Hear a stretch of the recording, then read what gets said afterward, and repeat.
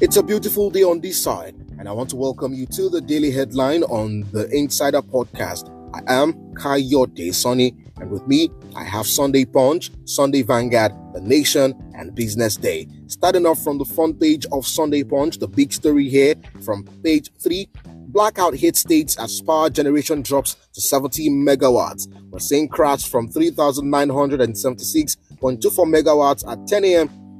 to 1075.08 megawatts at 3 p.m., 70,000.60 megawatts at 4 p.m. We can't provide services to customers. Discos say NECA calls for national grid upgrade.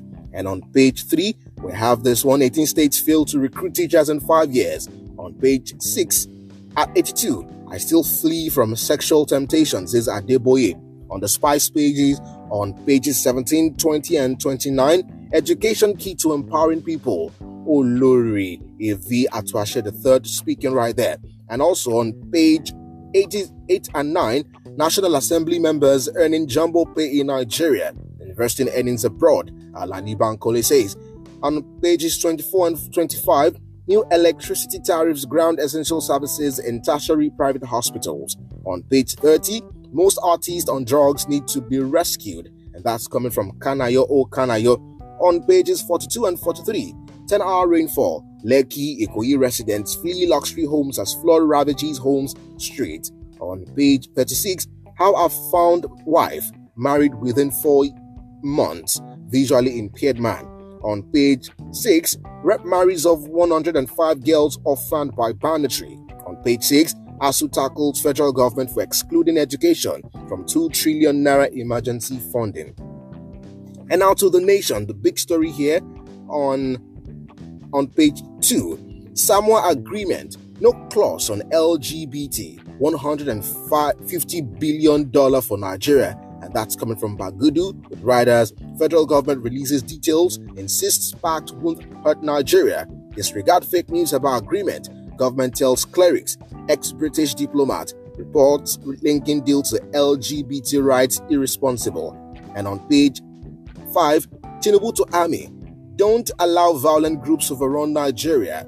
On page 5. Blackout as national grid collapses again. Power sector critical for economic growth, says Sanwo-Olu. And also on page 37. Marketers. Why fuel scarcity is back in Abuja. Others. On page 2. First Lady unveils vegetable garden at State House. Also, the last one on page 2 many injured as herdsmen attack Amotekun in Ondo. And looking at the front page of Sunday Vanguard for today, on page 13, the big story huge job losses as 16 multinationals exit Nigeria in three years. On page 7, row over alleged lesbian gay deal escalates.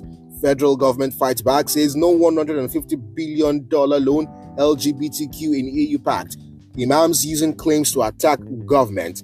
And also on page 24, Bishop Kukah, 25 years after Nigeria's democracy in recession. And also, uh, there's this one on page 16. I want to give people sense of nostalgia. Simi says of latest album. And looking into other stories, right here on page 6, anti-grazing law in Ondo. Arrest of 120 cows sparks bloody clash between Amotekun and herdsmen. On page 33, Davido and Sophia, Dele Momodu opens up.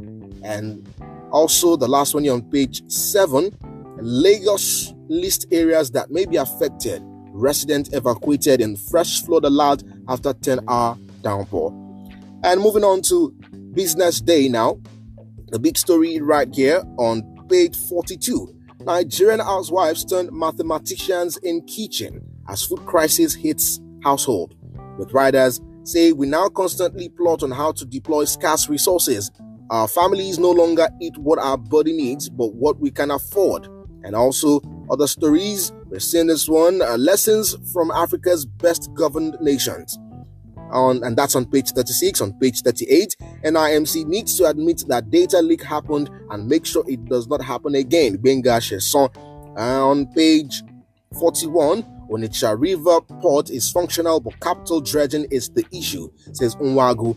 On page 56, Alexander Arnold fires England to Euro 2024 semi finals. And this one right here, Uh, minimum wage debate reignites discourse on fiscal federalism.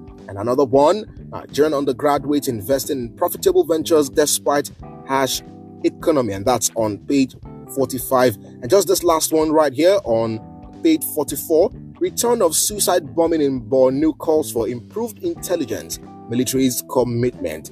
And those are all the headlines from the newspapers today. Thank you for tuning in today, and I'll see you next time.